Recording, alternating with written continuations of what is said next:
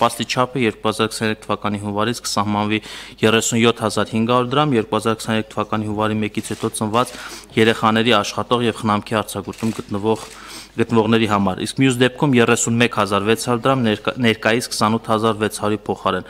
Ընդ որում գյուղական բնակավայրում ապրող աշխատող եւ խնամքի արձակուրդում գտնվող ծնողը կստանա 69100 դրամ, իսկ մինչ 2023 թվական ծնվածների մասով 63200 դրամ։ 2023 թվականին պահպանվելու են 2022 թվականի համար սահմանված երեխայի ծննդյան միանվագ նպաստի չափերը։